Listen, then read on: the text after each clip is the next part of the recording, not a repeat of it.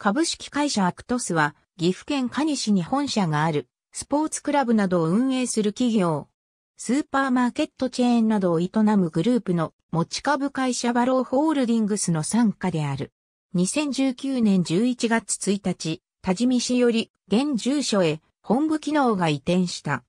1984年にバローのスポーツクラブ事業、東濃スポーツクラブとして設立、1990年にアクトスに改称された。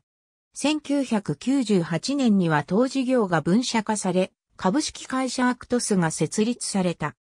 全国各地への展開を進めているほか、2019年11月1日には、親会社のバローホールディングスが、新日本スーパーマーケット同盟として、提携を結んだ先である、アークスリテールパートナーズと提携しての出店も行っている。アクトス不走店舗ブランドは、アクトスアクトスウィルララがある。公式ウェブサイトに掲載された店舗の都道府県、別店舗数は以下の通り。エリア区分も公式ウェブサイトのものによる。ありがとうございます。